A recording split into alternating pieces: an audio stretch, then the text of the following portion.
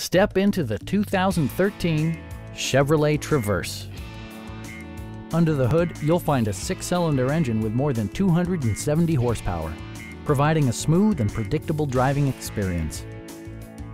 All of the premium features expected of a Chevrolet are offered, including front and rear reading lights, one-touch window functionality, front and rear air conditioning, fully automatic headlights, and remote keyless entry. Third row seats expand the maximum passenger capacity to eight. Audio features include a CD player with MP3 capability, steering wheel mounted audio controls, and six speakers, enhancing the audio experience throughout the interior.